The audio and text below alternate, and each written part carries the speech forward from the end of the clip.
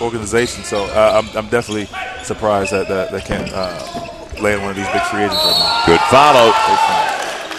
Dakari Johnson. Got it down to Dakari Johnson, who's been really good. And he turned right into Christmas and scored. He big boyed him, Stu. It's possible. I honestly, my gut feeling just says, why not leave what's been wor- why leave what's been working for him? Um, they were great, the ball player.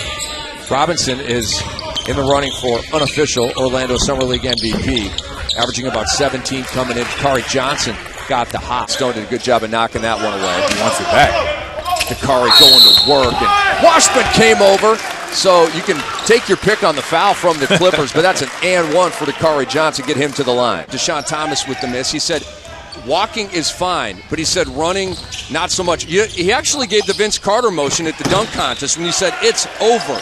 It's over. It's the final minute of a real entertaining first half. Johnson trying to have his way with Cousins, and he'll get there, won't he, on his strong Absolutely. side? He's a big fella. He's very confident in, in his post game. Josh Huestis. He's usually a corner three guy, so that wing three is not there for him. And Dakari Johnson screams after that jam. Yeah, Pacers are unfortunate there. Hobson almost fouled him.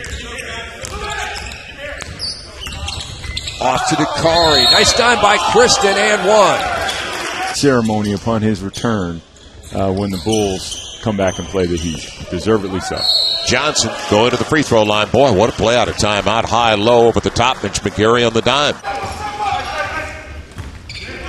Payne and OKC down two, but not for long. That's Dakari Johnson, and that's dime number two for Cameron Payne.